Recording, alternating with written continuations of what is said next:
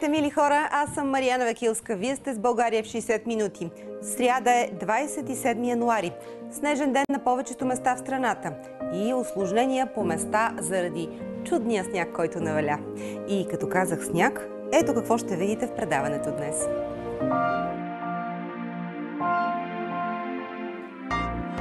Следим динамичната зимна обстановка. Затворени са проходи, силен вятър навява преспи, има салабе сток.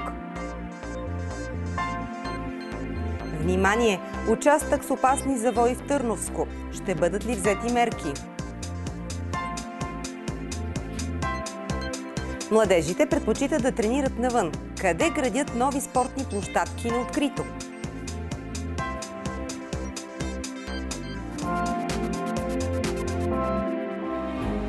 Селата Стойково и Динево, Прохода Шипка, село Аксаково, Пловдив, Благоевград, Русе, Варна, Монтана, Асеновград. Хайде, колеги, дайте картата. Ето я и нея. Село Присово. Всичко това и още са местата, на които ще бъдем днес. Разбира се, няма да се телепортираме, а чрез нашите репортери. А те са Цанка Семерджиева, което предава от село Стойково, Деси Петкова от Прохода Шипка, Нивелина Няголова от Аксаково, Галена Паскова от Асеновград.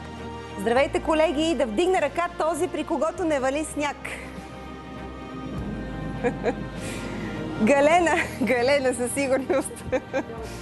Но не сте при равни други условия. Шегувам се, но положението е сериозно. Сега ще се убедим сами от това, което ще ни покажат нашите репортери. Цанка първа е на ход.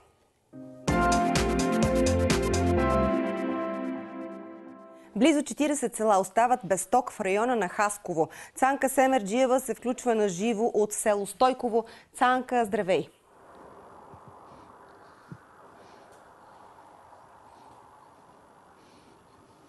Здравей, намираме се в Стойково. Действително да направя една малка корекция. Селата, които са без ток към този час, вече са 30.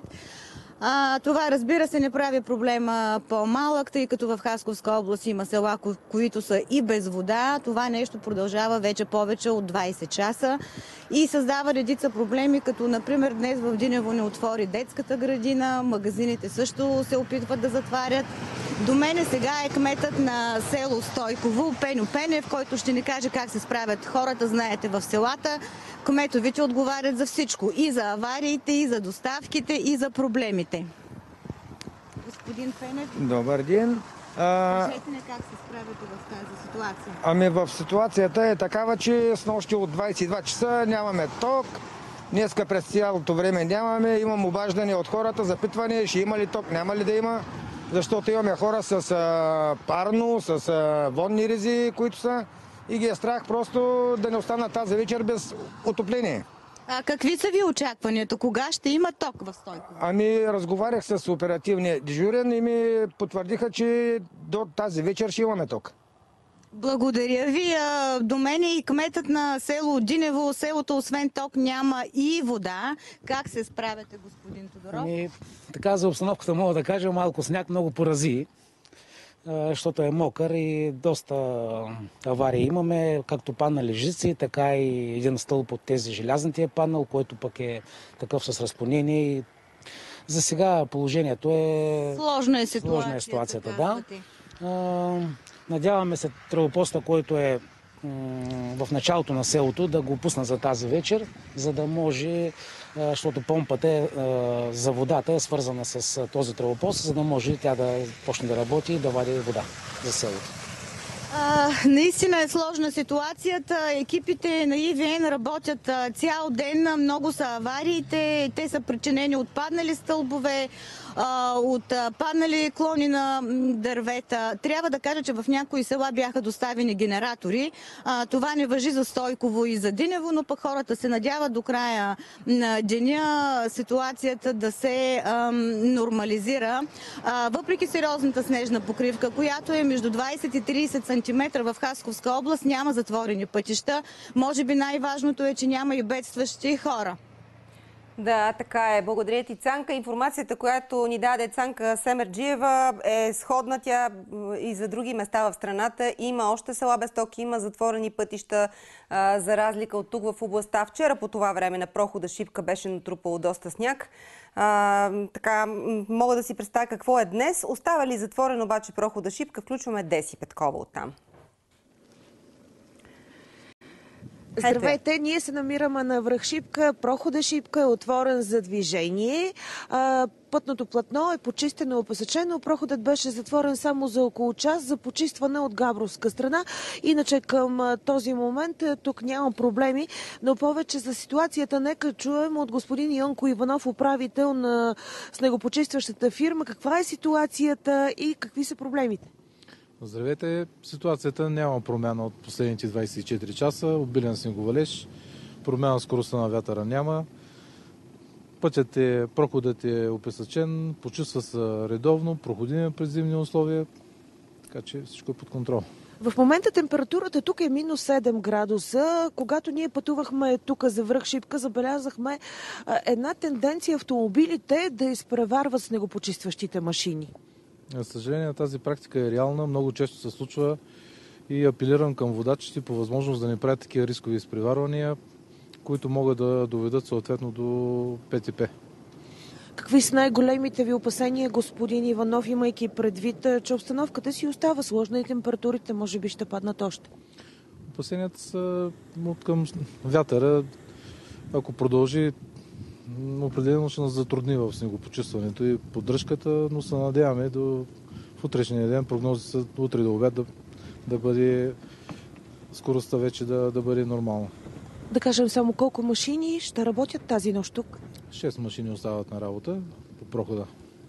Благодаря ви. А пътят между град Крън и град Чипка остава затворен. Той е почистен, но проблемът там е, че духа много силен вятър, който образува преспи. Видимостта за водачите на автомобили е нулева. Осигурен е обходен маршрут през село Дунавци, който иска да пътува през прохода Шипка.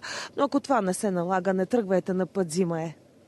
Благодаря ти много, Деси, за информацията. Вятърът създава проблеми и във Варненско, както обикновено. Само след секунди отиваме там. Преди това да ви кажа, че в източна България остава в сила предупреждението за преспи и навявания а във Варненско и Добричко времето особено сурово. Затворени пътища в Добричко, бедствено положение в една Варненска община и там много села останаха без ток. Нивелина Няголова е на едно проблемно място. Това е община Аксаково. А, община, която включва 23 села, като в 7 от тях нямаше ток. Каква е ситуацията към момента, ще ни каже самата тя. Нивелина изглежда да ти е доста студено. Наистина, не само изглежда, наистина е студено. Уверявам те, даже е трудно от поревите на вятъра оператора да стои изправен, защото само до преди една минута щеше да ни падне камерата от статива, толкова са силни поревите. 22 метра в секунда е скоростта на вятъра. Всъщност в Варнеска и Добричка област това е проблема през зимата. Вятъра, не толкова снега, защото колкото и да се чистят пътищата, след като мине машината, веднага след това силният вятър връща обратно снега върху пътя. В Варненска област има 16 села, които към този момент са без ток, но информацията е изключително динамична, защото силният вятър непрекъснато прави порази някъде по жиците и екипите на Енергопром непрекъснато а, обикалят, а, за да могат да, да възстановят електрозахранването в а, селата. Няма откъснати села, няма бедстващи хора към този час. Единствено община Суворово, там е обявено бедствено положение. Там непрекъснато някъде има проблеми с електрозахранването и са затворени абсолютно всички пътища в община Суворово. Нивелина, по-рано днес на изхода на град Аксаково имаше дълга колона от коли и автомобили, които не мърдаха каква, заради затворен път, ако не се лъжа. А каква е ситуацията към момента? Точно така, Мариана. Това всъщност е пътя Варна-Добрич. Днес сутринта някъде около 10.30 ние бяхме там, успяхме да стигнем до този пътен възел, от който започва истинския снежен ад. Защото след този пътен възъл до Добрич, там е открито поле, няма какво да спре вятъра и имаше закъсали няколко тира и много автомобили още от сутринта са вадили спасителните екипи, но тези два тира всъщност затвориха пътя Варна-Добрич и всички тези тежкотоварни автомобили първоначално бяха спрени, след което спряха и леките автомобили. Към този момент все още е затворен този път. Нека сега обаче да чуете каква беше обстановката, когато ние бяхме там. Има ли шанс да отворят пътя? Няма или- тако говорих с хората тук от управлението. Казаха, че имал обърнат камион на Изворско, който се е завъртял и няма ли възможност да го изтеглят в момента. Чакат специализирана техника. Той е БТР за тях ли отиваш? За тия закъсалите камиони отива нагоре, да. С БТР ще ги варят. Да. С БТР няма друга техника, която може да ги изкара. Ние си говорим по станциите постоянно и казаха, че пътят е бил отворен. И затова тръгна. Тръгнахме, да, тръгнахме да разтоварваме, ама до тук и От Дебрене насам могат да изчистят, до Дебрене Добрич не могат да изчистят. Как става? Те с хора тук, дето е по-зле, могат да го изчистят, до Добрич, до, до Дебрене никой не беше чистил. И от Дебрене до тук нямаше нито една кола в канавката. А от Добрич до Стожер имаше две в канавката.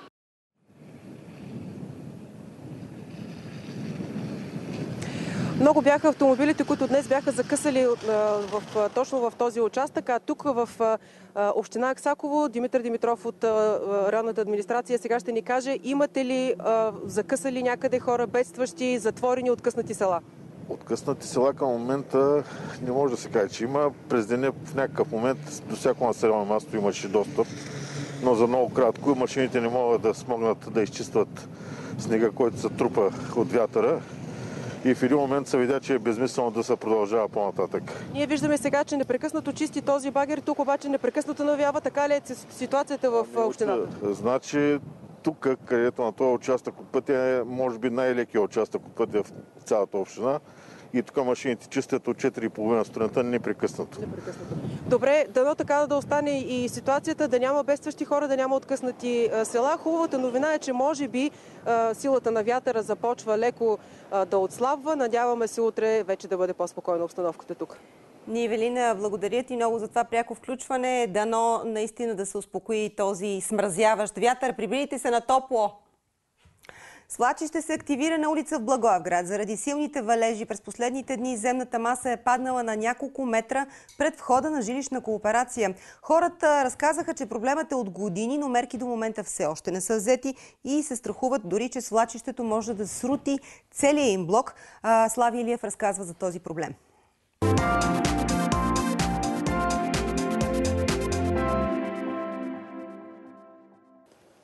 Свлачище е на път да затвори входа на жилищен блок в квартал Освобождение, улица Дойран 3. Ще имат ли възможност хората да направят нещо, защото в случая се оказва, че голяма част от проблемите, които са тук с това свлачище, се оказва, че са в, според ръководството на общината в частен имот. Но сега търсим мнението на живущите, за да научим наистина за какво става въпрос. Улицата, ската, самото място изцяло е необезопасено. От 89-та година съществува в този вид.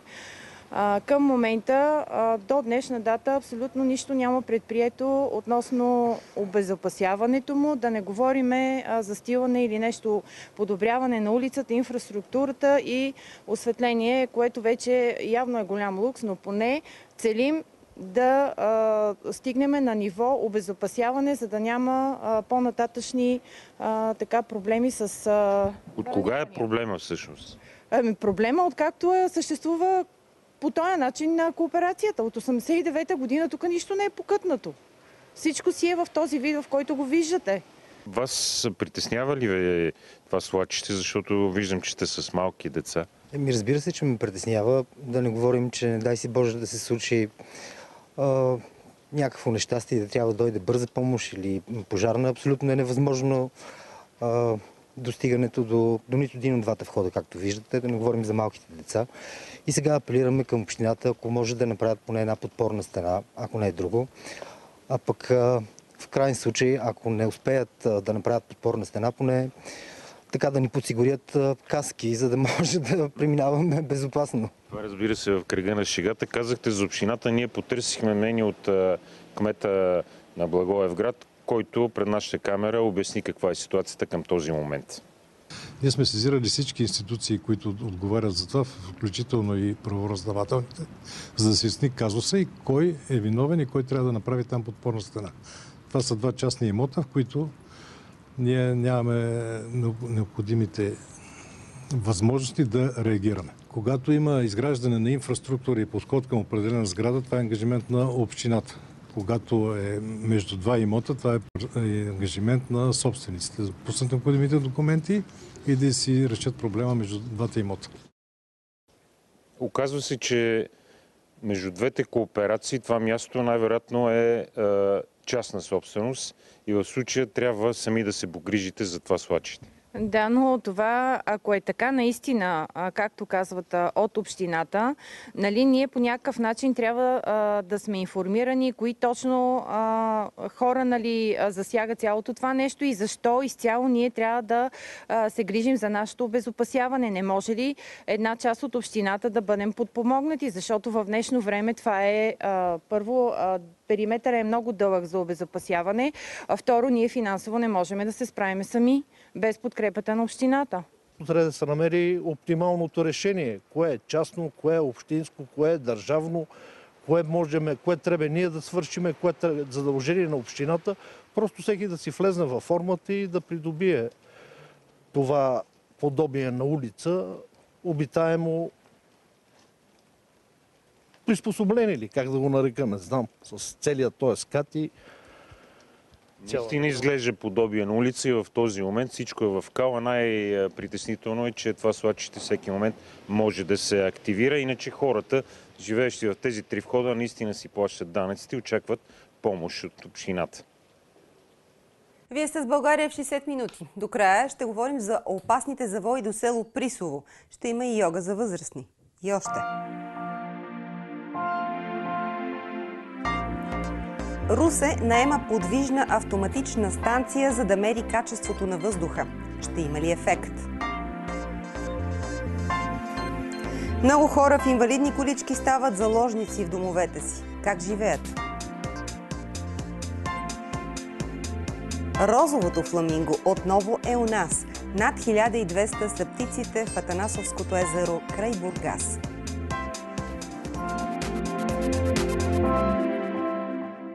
В битка с замърсяването на въздуха в Руса общината наема на търк от Белене подвижна автоматична станция. Взима я под найем за две години. Тя ще измерва качеството на въздуха по различни показатели. Какво се цели и дали ще има ефект? Роман Сушков сундира мнения.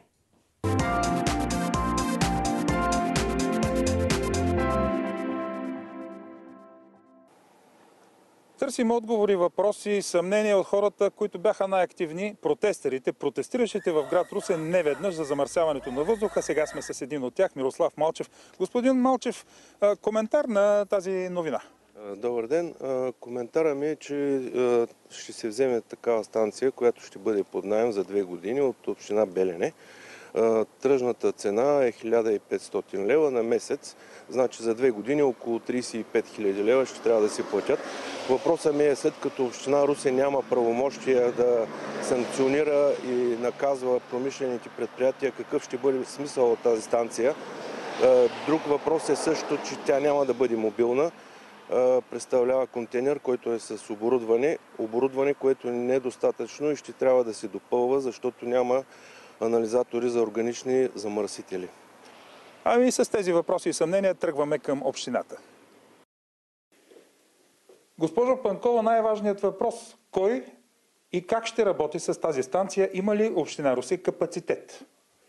Не става дума за капацитет. Това е станция, с която се работи с изключително сложни уреди, които трябва да се поддържат от фирма-изпълнител както се прави а, и на държавно ниво. Изпълнителна агенция околна среда също има договори за поддръжка и сервизно обслужване на станциите си. Под текста на този въпрос е има ли смисъл от тази станция, ако тя не се обслужва адекватно?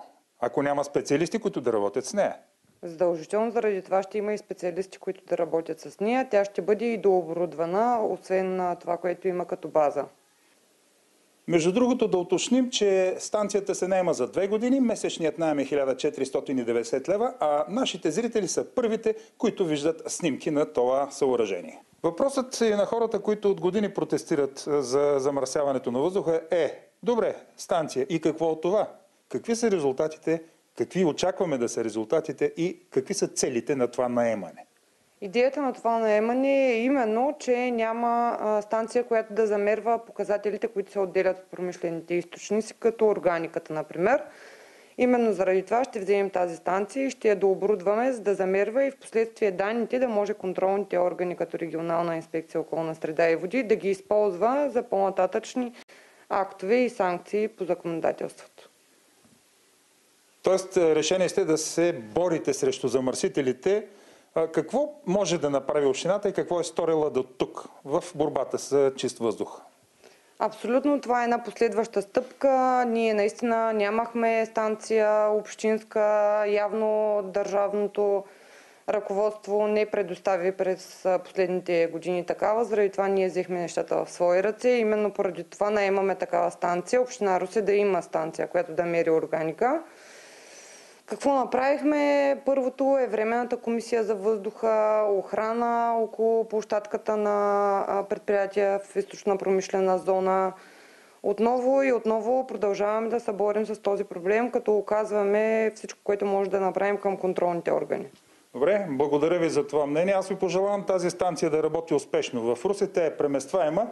Толкова изразявам надеждата на всички русенци, че това е един разумен и силен ход на общината в борбата срещу замърсяването на въздуха в град Рус. Една изключително болезнена за русенци тема.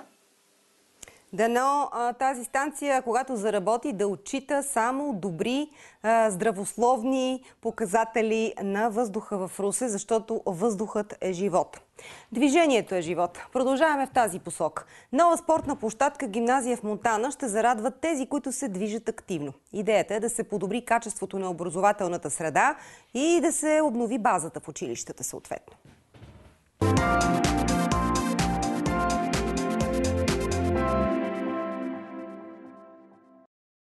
Младежите от три гимназии в Монтана ще имат възможността да тренират на новоизградени спортни площадки.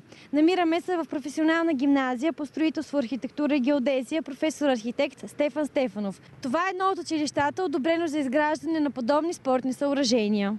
Гимназията има одобрени два проекта. Единият е по оперативна програма Региони в растеж за модернизиране на цели училищен комплекс мерки за енергийна ефективност, саниране на училищните сгради, учебна сграда и общежитие, инфраструктурата, спортни площадки, открити физкултурен салон, прилежащите площи. Другият проект е спорт в училище, който предвижда доставяне на модерно, иновативно спортно оборудване за физкултурния салон. Процедурата за включването на училището в проектите е по инициатива на Министерство на образованието и науката. Училището беше класирано, в момента текат процедурите по избор на изпълнител. Общо 91 професионални гимназии от страната ще се здобият с тренировъчни фитнеси на открито. Около 32 000 са учениците, които ще могат да използват новото спортно оборудване. Целта на проекта е да се подобри качеството на образователната среда и да се обнови спортната материална база в учебните заведения. Младежите предпочитат да тренират на открито пред фитнес залите поради три причини. Предимствата са, че е безплатно, тренират на чист въздух и имат неограничено време. Иванин Кънчов тренира редовно на лостове. Той също избира тренировката навън пред тази в залата. Ти защо предпочиташ да тренираш на открито, а не в фитнес зала, например? Ами на първо място заради чистия въздух. Другата идея е защото на лостове се тренира с а, тежестта на тялото и по-бързо се развива мускулатурата, поне според мен. Нямаш нужда от а, хранителни добавки, а и другото е, защото можеш да тренираш много приятели. В фитнеса е задушно, на мен не ми харесва лично. Пък и площадките стават все по-много в града. Има и в Бърковица, и във Вършец, в околностите и в други градове съм виждал. И това е хубаво. Според мен е добра идея да се тренира. Изпълнението на двата проекта ще направи а, учебната среда привлекателна. Още повече, че тя ще се използва и в, в а, извън учебно време, защото в учебния комплекс се намира и не самостоятелното общежитие на училището, в което са настанени 70 деца и тя ще отговори на нуждата от физическа активност на младите хора. И докато спортната площадка бъде изградена, за спортуващите в Монтана остава възможността да използват добре познатите вече такива. Движението помага на тялото да остане здраво, младо, гъвкаво и подвижно. В такъв случай, кой е подходящият спорт за по-възрастните хора? Йога. Макар да не е спорт, а практика. Не е важно как го наричаме всъщност, а е важно, че има благотворен ефект при всички възрасти. Добрият пример идва от Асеновград, където зрели дами и господа се отдават на йога практиките. Как става това по време на пандемията? Галена Паскова е заедно с ентусиастите. Здравей, Галена! Здравей, Мариана! За мен е изключително удоволствие да бъда сред тези дами. Казвам дами, защото това са наистина достойни за уважение жени, които въпреки своята достолетна възраст могат да засрамят такива като мен. Сега обаче ще получим от тях най-доброто. И трябва да кажа, че само единствено заради нас в момента ги виждаме тук. Те са в залата. Иначе всички техни тренировки се провеждат дистанционно, благодарение, разбира се, на модерните технологии. А тази прекрасна млада дама. Тук е йога инструктора Милена Петрова. Тя вече започна с а, част от а, своите а, ученички, можем да ги кажем. Милена, здравейте! Прекъсваме за малко. Те могат да продължат да правят каквото са научили от вас. А, кажете ни, как тази йога е съобразена с а, дамите и господата от третата възраст, с техните възможности? Ами, съобразих а, с а, тяхните възможности, като направихме а, Помощни средства, да, да го кажем. Помощните средства използваме стол. Можем ли да поседнем или не? Можем, разбира се. Как започва вашата тренировка и всъщност какви са ползите? Чакайте всъщност, аз ето така ще мина. Тук е една прекрасна дама. Здрав... Ма моля ви се, не ставайте, аз бих седнала даже и с вас. Извинявайте за въпроса, обаче ще ни кажете ли на колко сте години? 73. Жива и здрава да сте от вас. Лъха такъв чар и, и, и толкова оптимизъм. От колко време се занимавате с йога? Година и половина. И как ви се отразява? Много добре. Някакви болешки преди това, нещо? И да, имам болешки на кръста, колината. А сега? И по-добре. Чувствително по-добре. Чувствително по-добре. Добре, сега това е майка ви, можем да разкрием, нали? Да, да. И не е ли запалихте? От колко време? Да, ами тя от доста години, но от година и половина, откакто официално имам група, се включва тук в залата с всички останали. Добре, Милена, можем да разкрием, че всъщност майка ви има проблеми с уха, вие превеждате, но това е една чудесна социализация, тя да бъде сред хората. Да. Как сте вие, как се чувствате? Много добре да чувствам. Жива и здрава да сте, Милена. Давайте да показваме. Сега ми се е паднало, както се казва, с помощни средства. Сядаме ли? Сядаме. Мариана, това е. Когато е на стол и аз се включвам. Добре, сядаме и после. Така.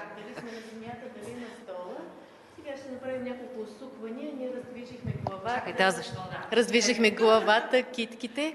Сега ще вдишаме нагоре Издишваме ръка към противоположно бедро, главата назад. Вдишваме нагоре, издишваме, усукваме на другата страна. Дайте нещо с кръка, че няма как с ръце. И на другата страна.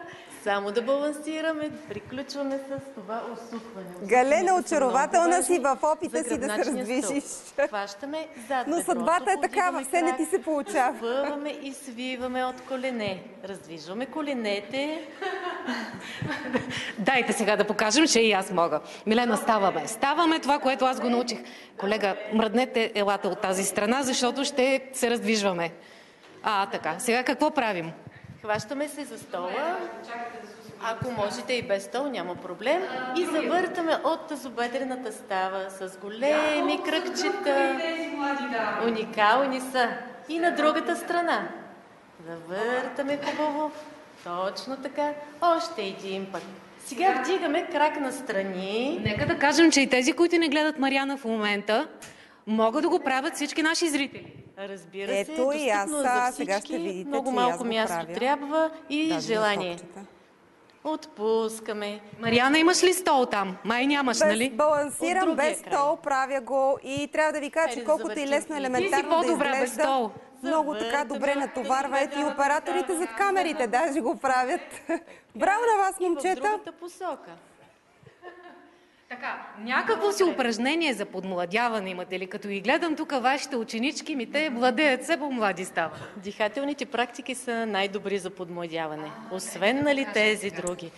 Ами най-често правим брамари. Това още се привежда като жужене на пчеличка. Действа успокояващо на сега ще жужим ли? Да. Давайте да жужим. Устата е затворена. Аз съм с маска, но е затворена. Да, кажем. вдишваме, издишване, издишване само през носа. Вдишваме бавно, продължително, равномерно. Опитваме дълбоко от долната част, от корема. Издишваме със звука между м и на. Да жужеля и аз. М, При мен като стършал някак си изглежда, но Само през носа. явно не дишам правилно. И това дишане действа добре на ума, успокоява го, което е основната цел на йога. Така, сега, извън шегата, всички упражнения, които вие практикувате всеки ден, а, ли могат да бъдат освоени от хората над 65 години? Ами не всички, точно за това сме и на стол. А, примерно по гръб а, упражнения с вдигане нагоре в свещ не е добре, защото повечето с високо кръвно, сърдечни проблеми, сочни проблеми. Затова ги изключвам тях. Лягаме на земята рядко за крокодилски упражнения, които са добре за гръбнака и някои други раздвижвания. Така, и един последен въпрос.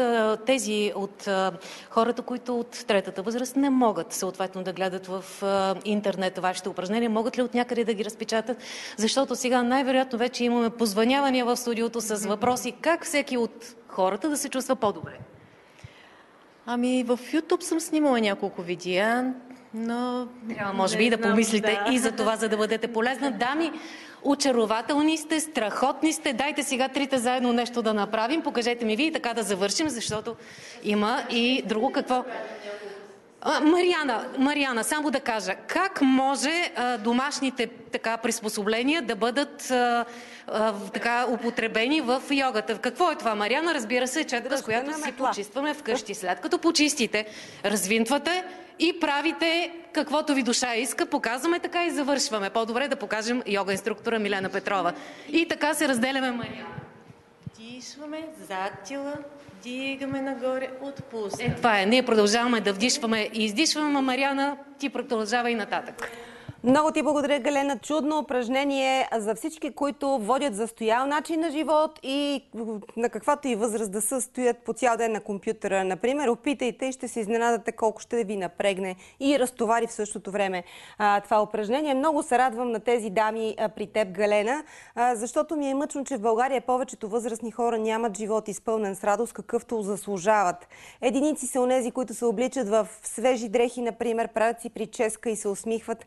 А това са нашите баби и дядовци, нашите майки и бащи, които са ни раждали, гледали и не заслужават да са тъжни. България 60 минути продължава след малко. През това време да помислим как да ги дарим с радост и внимание. Няма да ни струва много.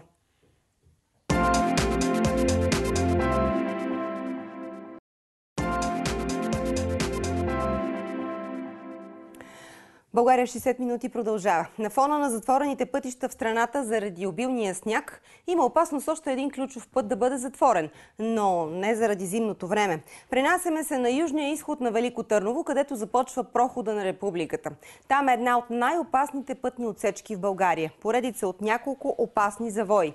Местните хора дори я наричат отсечката на смъртта, защото през годините там са загинали десетки. За пореден път днес там се събраха жители на 15 населени места, чието търпение явно се изчерпва. Те предупреждават, че ако държавата не реши проблема, ще блокират отсечката и ще затворят единствения път за Хаимблас. Зорница Илиева предава на живо. Зори, здравей!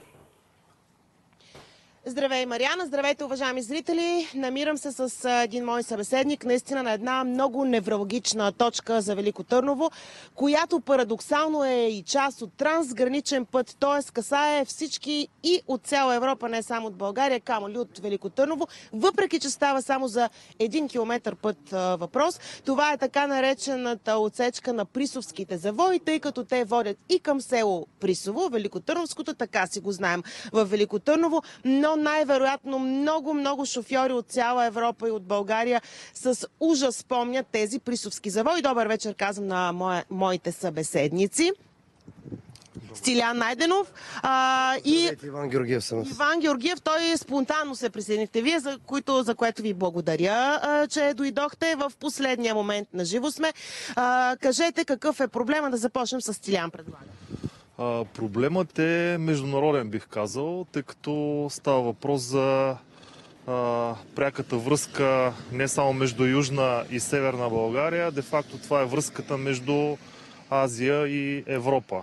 Освен на локален, той е международен. От тук минава абсолютно целият национален и международен трафик в тая посока. Катастрофите са почти ежедневни. По официални данни на полицията са близо 50 регистрирани за последната година. има няколко тежки катастрофи с смъртни случаи, с ранени хора. голям процент от инцидентите са с чужди шофьори, турски и така представители на цяла Европа. Да, всъщност още веднъж да ориентираме нашите зрители. Мариана, точно тук от а, мое ляво са въпросните завои, буквално за тази малка гора.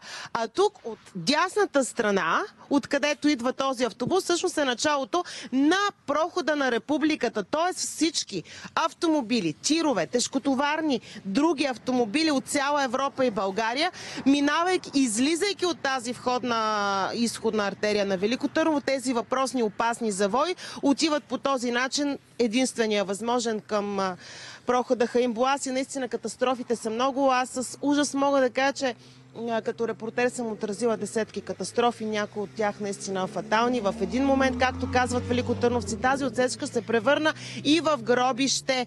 Сега вижте какво записахме по-рано днес, тъй като тук на точно това място се събраха доста хора, членове на този комитет и жители на съседните села и Велико Търново да протестират и да искат държавата да се намеси. Чуйте какво записахме. Умишлено няколко човека сме излезли само тук. Ние просто ги спираме хората. Те искат да затворят пътя. Искат да затворят пътя и да не го отварят, докато не се вземат някакви мерки. Просто ги въздържаме, защото се поставяме на място на пътуващите и така нататък. Вземете стати... статистика от КАТ и ще видите за какво става въпрос. Жертви, жертви, жертви. Постоянно минаваме. Всеки ден по 3-4 пъти минаваме. Опасно е много. Децата возим.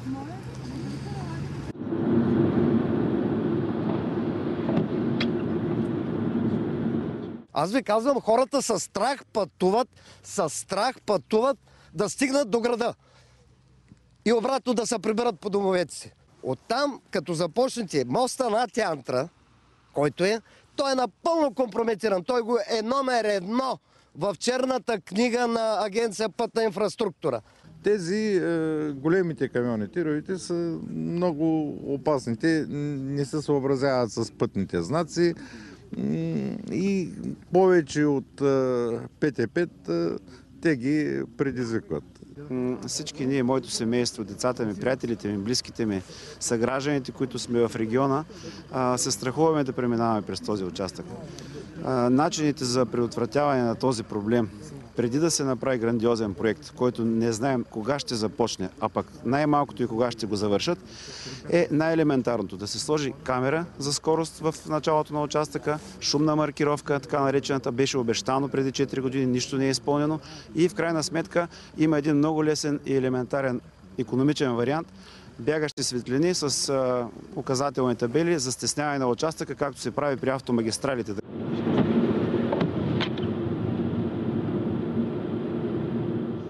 Цената на един човешки живот не струва 5 милиона.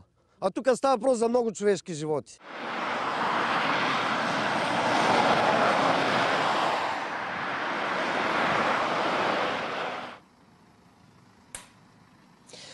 Това записахме днес. Такива са настроенията сред хората, защото наистина този проблем е с давност над 50 години. Кой може да реши веднъж за винаги и наистина името му да остане в историята? Това е гарантирано, господин Найден.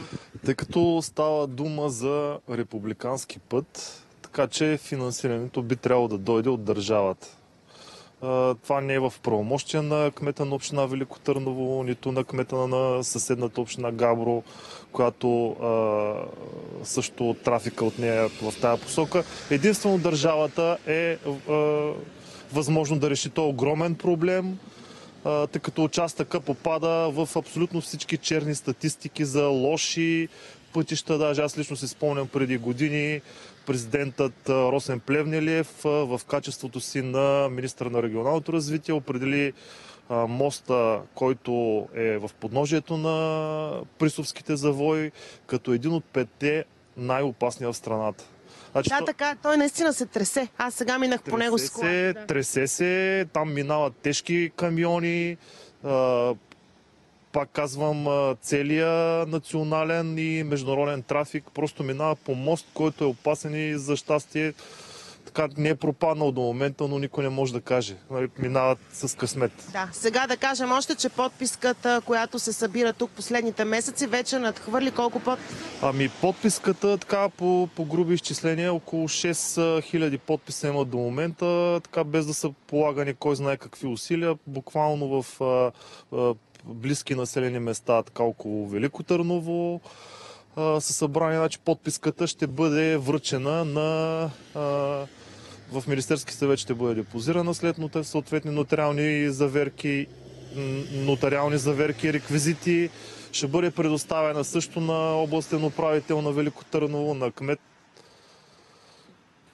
Добре, благодаря много. Сега да кажем само, че и обществеността се взема в ръце, както видяхте, и с нотариално заверена подписка, която ще бъде връчена на всички институции, които са длъжни да се ангажират с този проблем. Дай Боже той да започне неговото решаване. Само да кажа, че тъй като сме на метри буквално от Хаимблас и цял ден следим обстановката там, към момента тя е нормална, въпреки че продължава да вали обилен сняг. Асфалта е на черно, както се казва, автомобилите могат да пътуват добре, благодарение на усилията на пътната агенция. Няма и особени инциденти. Слава на Бога в цяла област Велико Търново. Връщам се на Хаимбуаз, където ще следи обстановката и за новините. Ще следим и този случай в България 60 минути.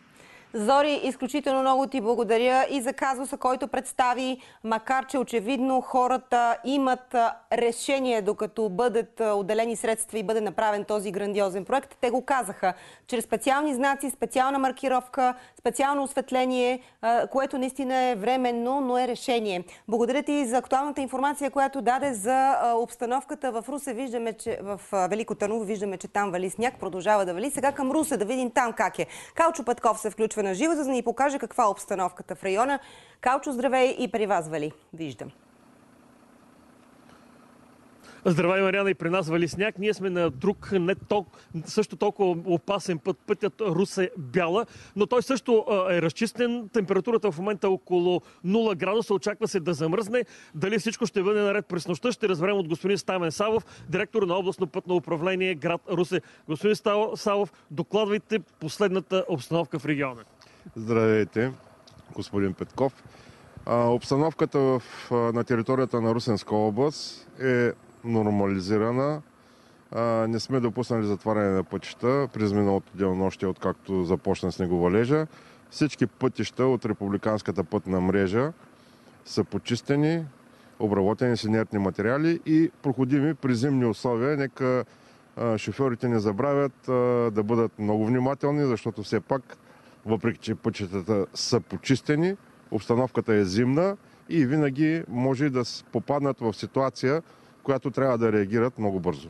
На колко точки в областта имате пунктове с снегорини, които всеки момент да започнат опесечаване или почистване, ако този сняг започне да се задържа на асфалт? На територията на област Русе има 6 опорни пункта, така ги наричаме, където е разпределена техниката, която почиства и обработва пътищата. За изминалото делонощие на територията на Русенска област работиха 61 машини. И затова пътят е толкова хубав. Мариана, зад мен има снегорин. Какво мислиш, че ще направя? Естествено, ясно е Калчо, повече от ясно. Мисля, че всеки зрител може вече, познавайки те, да се досети, че ще се качиш на него и ще го подкараш. Нали така? Господин а, сега ще покарам малко Снегорин. Ще ви помоля, ако ви се освободи работно място и аз се справя добре да съм при вас. Винаги сте добре дошъл. Така, да видим дали... А, само да ти кажа, Мариана, че ще мина вдясно, защото този Снегорин е с десен а, волан. Тук, в този Снегорин, той в момента се управлява от Анатолий. Той е шофьор на този Снегорин. Нека да ви запозная направиш с някоя него. само. И да видим дали ще мога... Няма, няма, няма. Толкова поразии съм направил в живота си, че една повече или по-малко няма никакво значение. Здравей, Анатолий! Здрасти! Сега, аз ще карам. Искам само да ми кажеш преди това да а, освоя вашия сленг. Какво трябва да кажа? Кой ти даде на тебе книжка, бе? Защо караш като румънски тираджия? Така ли, ако някой ми се изпречи? Не, нещо такова, сама по-полека, без нерви. Да не викам толкова много, така ли? Не, не, не, не трябва човек да вика, защото те много се пречат и не се съобразяват с машината, че почувстваме и пречкат се. Колко дълбок сняг можем да изчистим? Може, колко, колко завали, толкова. Така, я ми дръж сега микрофона. Държа. Да видим дали ще мога да потегля. Да пуснем спирачката. Така, Калчо и пускаме снегорина. ти се изпречи на И пътя, ще я подкараш. Аз съм убедена в това. Ами как е, чистим ли Мариана, че не виждам отпред снегорина? Хванали сте да от единия край. Добре се справяш. Само Браво. да не отнес. А отзад ръсите ли нещо? Така ли? Сега да дадем малко на... Ами, Расим, Расим, сега ще дадем малко назад, защото тук виждам, че нещо не съм почистил добре, за да можем съответно и отзад да поръсим. Ти си перфекционист, Малко. само така. Само Даваме така. назад, защото Няма половинчато да си вършиш работата. така. Анатолий, а, от колко години караш Снегорин? Една. Една година. Първата година ми е това. Първата година? Да, за първата година. Лесно ли? е? Ами, учи се човек. В колко ставате сутрин? В, в колко ставате сутрин? Е, 24 часа дежурим. 24 часа. 24 часа сме, той снега си вали. Хайде ти ме научи сега как да пусна греблото, как да включа тук спирачно. Теб кой те научи? Е, кой му научи? Аз сам съм се научил. Мога. Показаха ми как се случват нещата. Обаче гледам, знаеш ли, някои, с- а, някои снегорини а, не пускат додолу греблото, защото казват гори повече нафта. Не, не, не, не. Не е заради това, защото просто има неравности да не чупят гребото. Те се чупи машината. А, а, ти чистиш главни пътища, не такива второстепенни, по-широки. Тиро... Тясни, всякакви. Къде се вали? Някоя кола закачали ли сме на по-тясно? Ами да, да, да. Точно е, че не се съобразява, че имаме гребло и то е по-широко от камиона и като се разминаваш с кола и разминаваш се на косъм. Какво, с, как, с, как, с какво разим отзад? С пясък и сол? ли? Пясък, сол, зависи от обстановката, какво изисква. Например, сега с какво, с какво ще расим? Ами сега с пясък и сол подложка се прави на пътя, за да не замръзне. Колко, колко тона сме натварили отзад? Ами 10, 15, нещо такова. Калчо, Няма никакви раз- проблеми. разкажете Не. ни повече за тази мощна, А Снегорина може ли да закъса? респектираща Ами машина. закъсва, той, той е машина, той няма как. Може и той да закъса. Така, малко тук той оператор няма как да мине, че е много, но гледам, а, това, а, имаме тук джой, джойстик, той за какво е? Да, от тук се управлява цялата машина. Отзади е фърлянето на лугата, греблото на Я гласа. греблото да видим какво може да, да прави. Момент. Ами, ляво, дясно, Наляво и надясно. надолу, нагоре. Зависи в коя страна чистиш. Ако тук сега дам малко в пръста, дали ще му закъсаме? Ами не, тук не. Я пусни греблото да дам малко напред да видим какво става. Тук малко на- надясно ще дам, а? Зад вас има кола, не знам дали виждате. Добре. Виждаме, да. Само да включим на първа, но ние ще тръгнем в друга посока. Как е чистим ли? Айде да видим сега инженер Петков как ще се справи с тази кризисна Нека да направим, да можем да минем, да можем да минем после и с нашата, и с нашата кола. Ето сега а, камерата е зад нас. Я да пуснем малко да видим как го посечаваме. Къде, къде натискаме? Ето и тук имам си специални копчета. Опесечаваме ли Мариана? Как е? Виждаш ли, че аз нищо не виждам? Ами, да. Поне доколкото и аз виждам. Да, опесачавате определено. Но ще бъде сериозно там точно където. Да. където сега. Ами не само опешено и и почистено много, много ти благодаря, Анатоли. Да ти пожелая лека, безаварийна и както се казва, ници се пречкат разни, защото аз не виждам кой им е дал книжка не на тези, деца се пречат. И ти ръчи ти много пречат и те. Е, преча, да, не се съобразяват изобщо. Хем са колеги. Няма колеги в този бизнес. Пускай Снегорина и смело напред. Мариана, това е от Русе. Калчо, знаеш какво си мисля, като те гледам? А, че в един момент, когато обхвата на това предаване се увеличи а, и излезе извън пределите на България, е хубаво да те пратим до Кейп Канаверал, а, да те изстрелят с капсула до Международната космическа станция, да те видим как управляваш и нея, защото очевидно Калчо Петков има всестранни възможности. Благодарим ти за това приключение и след толкова сняг, затворени пътища и населени места без ток, розов финал на нашето предаване. Хубав край. Розово фламинго прелетя над 2000 км от Испания до Атанасовското езеро в Бургас. Птиците вече са неизменна част от пейзажа на лагуната. Присъствието им развълнува бургазли. Ето какво засне екипът ни начало с Елияна Цанова.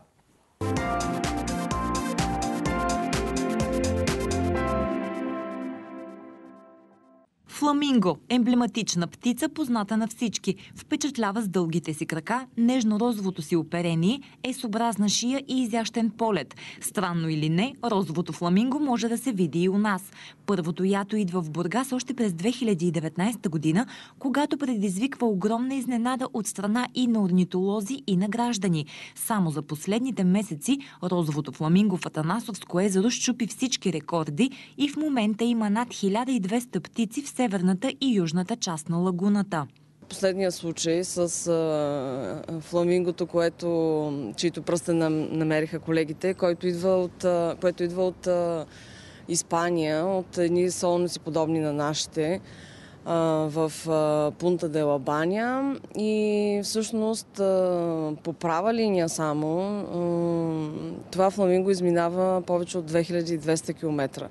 Нали, ние не сме наясно къде точно минава, над кои държави, къде спира. Как обаче орнитолозите разбират откъде е дошла екзотичната птица у нас?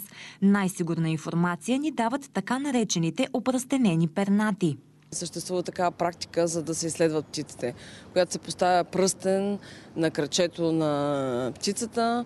Има цяла световна мрежа от организации, институции, които се занимават с това и поддържат всъщност такава база данни.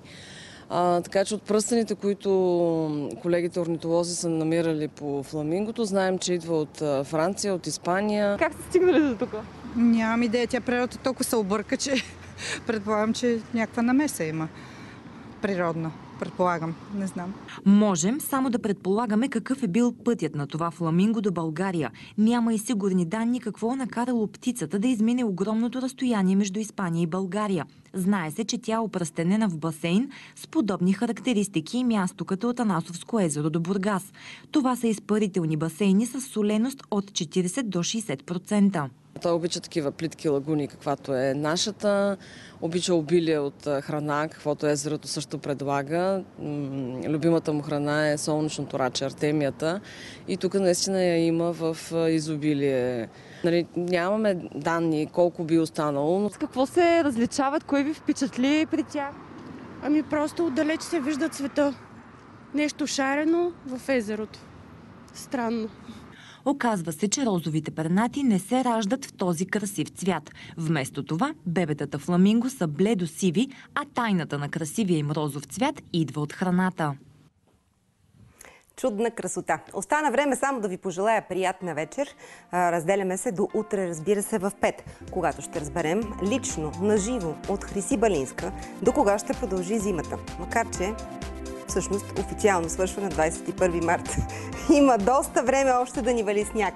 Освен това, ще ходим на пазар в Гюргево. Ще ви покажем и проблемен път и ще се опитаме да разберем дали и кога той ще бъде оправен. Така че бъдете с нас отново.